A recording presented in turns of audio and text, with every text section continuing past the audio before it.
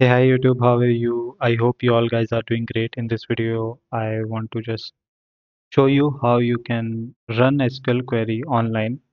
So I have already created a video to how to install MySQL on Mac and uh, Windows. I don't have a Linux machine, so I can't show it, but you can find it online. And still, if there are some people or some students are there who are not able to install um, MySQL on their machine due to some problem or they want to do it, they don't want to install it then there is also option that you can use MySQL online. So just go and search MySQL online compiler or MySQL online. Then here you can find go you can go to any link. I just prefer this Programiz. So just go here and you can practice your SQL queries. But definitely there is some um, you can say limitations here like you cannot uh, create a database. You cannot see what databases are there here. Okay. You can't do it. Okay. Then I have also observed some of the modify queries are not working. So that's why um, I thought uh, it's better to use to install uh, MySQL and MySQL Workbench on your machine. But if you are not able to it, that's fine.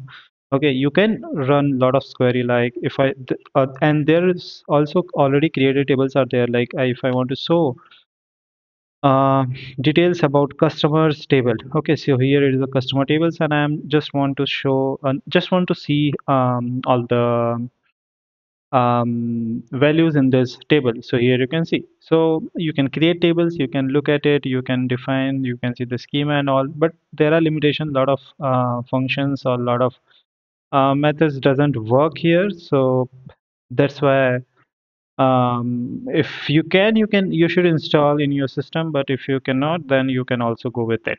Okay.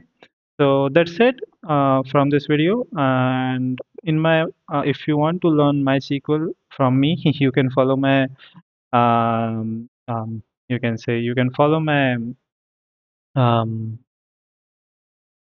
playlist where I am slowly covering all the topics of MySQL and we will go from basic to advanced. So if you want to uh, learn from me, then just give it a subscribe and just uh, access this playlist. I will provide this playlist in the comment section or you can find in it in my channel. So this was a simple video uh, that how you can run MySQL on your online compiler. So that's it. Meet you in the next video. Till then, bye bye. Thank you.